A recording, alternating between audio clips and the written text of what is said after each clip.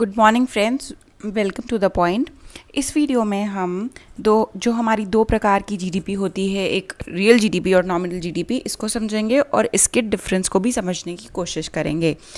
तो स्टार्ट करते हैं हम। एक बार रिवाइज कर लेते हैं फिर से फटाफट से कि व्हाट इज़ जीडीपी तो जीडीपी और the gross domestic product measures measures the monetary value of all the goods and services produced in a country within the within the domestic boundaries of a country.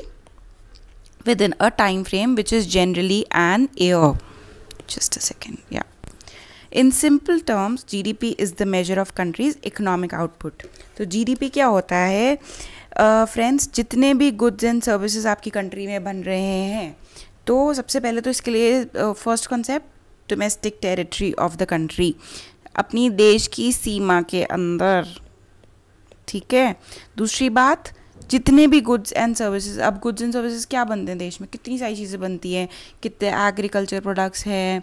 और जैसे हमारे apparel बनते हैं shoes बनते हैं food products बनते हैं machines बनती हैं, और पल्सेस ऑयल सीड्स सर्विसेज़ जैसे डॉक्टर लॉयर गार्डनर मिल्कमैन कितनी ही सर्विस अनगिनत सर्विसेज़ होती हैं कंट्री में, अगर उनकी मॉनेटरी वैल्यू को हम क्लब कर दें तो जो वैल्यू हमारे पास आएगी, उसको हम कहते हैं जीडीपी और हम जब जीडीपी कैलकुलेशन करते हैं तो हम एक साल जो हम टाइम फ्रेम लेते हैं you it is an year एक साल के लिए लेते हैं।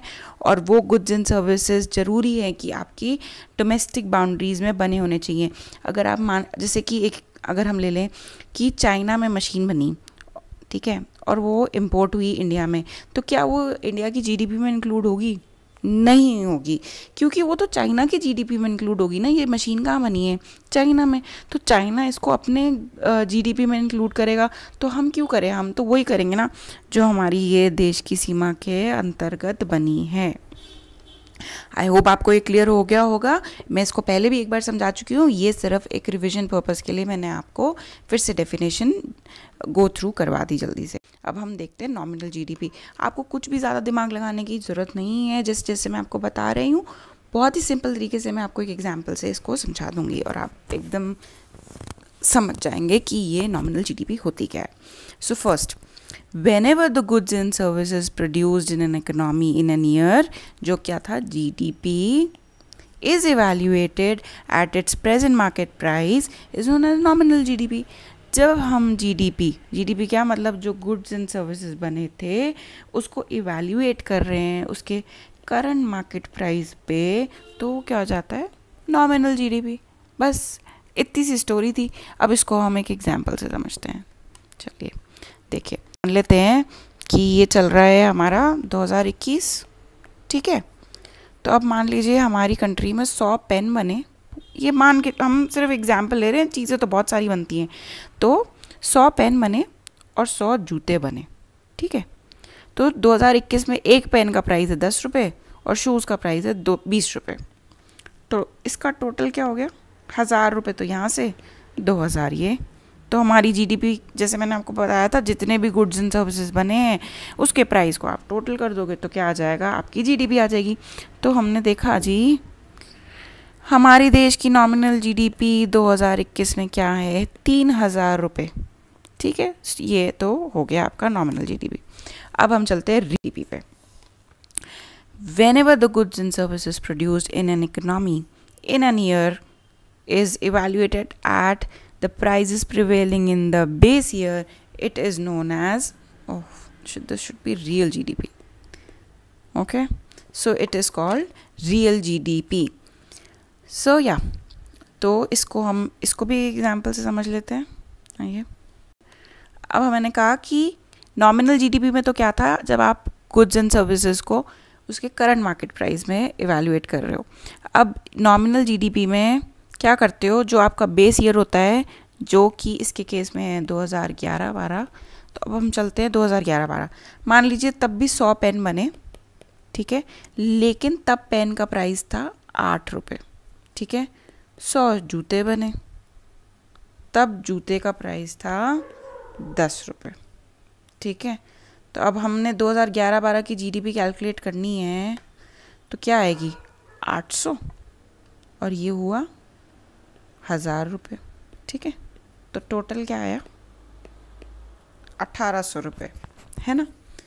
तो ये जो जीडीपी निकल के आई, ये हो जाएगी रियल जीडीपी क्योंकि मैंने आपको बताया ही ना कि रियल जीडीपी में क्या करते हो? आप जो प्राइजेस प्रिवेलिंग थे, आपके बेस ईयर में जब उस प्राइस से आप अगर जीडीपी कैलकुलेट करते हो तो वो आती है रियल जीडीपी आपके 2011-12 में मैंने आपको बता दिया पेन का प्राइस था आठ रुपये शूज़ का प्राइस था दस रुपये और अभी अगर मैं करंट मार्केट प्राइस पे देख रही थी तो अभी 2021 में पेन का प्राइस था दस रुपये और शूज़ का प्राइस था बीस रुपये तो तब अपनी जीडीपी कितनी निकल के आ रही थी? तीन हज़ार रुपये तो जो ये तीन हज़ार और अट्ठारह सौ का डिफरेंस है इसको क्या कहेंगे हम?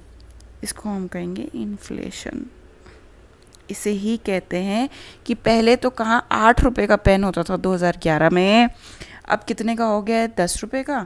तो दो रुपये से महँगाई बढ़ गई यहाँ पे। और शूज़ थे दस रुपये के तो जी अब ये तो बिल्कुल ही डबल हो गए हैं तो ये हो गए हैं बीस रुपये के। इसको कहते हैं, जो कहते हैं ना, बहुत महँगाई बढ़, हमारे पेरेंट्स अक्सर कहते हैं, बहुत महँगाई बढ़ती जा रही है, हर चीज़ के दाम बहुत महँगे हो गए हैं, भाव बढ़ गए हैं तो वो क्या हो रहे हैं? वो यही तो हो रहे हैं कि जब हमने देखा था 2011-12 में तो ये कहाँ आठ रुपये में पहना जाता था, अब कहाँ उसी पेन को ख़रीदने के लिए दस रुपये और जूते कहाँ दस रुपये में आ जाते थे तो अब उसको ख़रीदने के लिए आपको बीस रुपये खर्च करने पड़ रहे हैं। तो आई होप आपको ये क्लियर हो गया होगा कि क्या नॉमिनल जी थी और क्या रियल जीडीपी होती है, उनका डिफरेंस को क्या, वो क्या होता है, वो होता है हमारा इन्फ्लेशन तो आइए एक बार इस ग्राफ पे भी देख लेते हैं कि हमारी नॉमिनल जीडीपी और रियल जीडीपी कैसे कैसे घट रही है या बढ़ रही है देश की लास्ट बीस सालों में. तो आप ये देखिए तो यहाँ पे तो ये थी, इतनी ये हमारी हो गई रियल ये हो गई नॉमिनल ठीक है? ये ये घटी पहले, फिर बढ़ी, फिर बढ़ती गई. और अगर आप यहाँ पे आके देखोगे इधर जो ये हमारा 2008 या 9 है। यहाँ पे क्या हुआ था? सबको पता होना चाहिए। यहाँ पे सब प्राइम क्राइसिस हुए थे, जब अमेरिकन इकनॉमी बहुत ज़्यादा गिर गई थी और बहुत सारे डिफ़ॉल्ट हुए थे उनकी इकनॉमी में। तब क्या हुआ था? ये देखो, महँगाई दर कम मतलब एकदम से नीचे, ये ग्राफ सबको पता है। और यहाँ पे फिर एकदम से बड़ी थी क्योंकि बहुत पैसा गवर्नमेंट ने बहुत सारे स्टेप्स लिए थे इकनॉमी को रिवाइव करने के लिए लोगों के हाथ में पैसा आया तो उससे एकदम से इफ़ेक्ट हुआ कि ये बड़ा प्राइजेस बढ़ गए मार्केट में और इस डिफरेंस को क्या कहते हैं? मैंने आपको बताया। क्यों ये डिफरेंस ये डिफरेंस हर जगह क्यों मेंटेन हो रहा है? क्या रीज़न क्या है? ये रीज़न है inflation this gap is inflation और अगर आप अभी के हालात देखें तो आप, ठीक है, हमारी महँगाई दर कम हो रही है, ये देखो, है ना? बढ़ रही थी। ये 2016 17 ये हमारा डीमोन का टाइम है, डीमोनेटाइजेशन हुआ था। ये चीज़ें आपको पता होनी चाहिए कि किस साल जो मेजर मेजर इवेंट्स हुए थे, जिन्होंने हमारी इकनॉमी को थोड़ा हिला दिया था वो आपको इवेंट्स हमेशा ध्यान रहने चाहिए, जिससे कि आपको क्या रिलेट करना इजी हो जाएगा कोई भी कॉन्सेप्ट कि हाँ शायद इस चीज़ का भी तो इफ़ेक्ट पड़ा होगा। आपके ग्राफ्स पे, आपकी जीडीपी पे, आपके फॉरेन एक्सचेंज रिज़र्व पे और क्या इफ़ेक्ट आया आपको? आप ये तभी तो एनालाइज कर पाएँगे जब आपको पता होगा कि उस साल में क्या हुआ था। तो ये यहाँ इसलिए ये डीमोनेटाइजेशन हुआ, थोड़ी महँगाई बढ़ी फिर ये नीचे आनी चालू हुई है क्योंकि गवर्नमेंट बहुत स्ट्रिक्टली बहुत एक्शंस ले रही है कि हमारा जो महँगाई दर है वो हमारा एक सीमित सीमा में रहे और हमारा ग्रोथ रेट भी बरकरार रहे।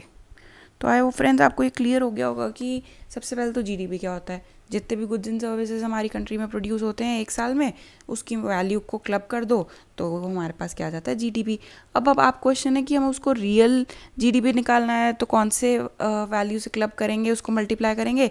और अगर हमें नॉमिनल जीडीपी करना है, निकालना है तो कौन सी वैल्यू लेंगे? तो जब हमें नॉमिनल जीडीपी निकालना है तो अभी जो प्रिवेलिंग मार्केट प्राइस है, अगर 2021 है तो 2021 के प्राइस लेंगे 2020 है या 2022 है तो उस टाइम जो मार्केट प्राइजेस होंगे, उससे अगर हम मल्टीप्लाई करेंगे तो हमारा नॉमिनल जीडीपी आ जाएगा। और अगर हम बेस रेट में जो प्राइजेस चल रहे रहे थे, अगर उससे मल्टीप्लाई करेंगे तो हमारा रियल जीडीपी आ जाएगा। और इन दोनों के डिफरेंस को, जो ये डिफरेंस रहता है, उसको क्या बोलते हैं? इन्फ्लेशन या हमारा महँगाई दर। आई होप आपको ये सब बातें क्लियर हो गई होंगी। एक बार इसको प्लीज़ ज़रूर रिवाइज़ कीजिएगा, ताकि आपको ये और अच्छे से समझ आ जाए। This is all for the today's video thank you so much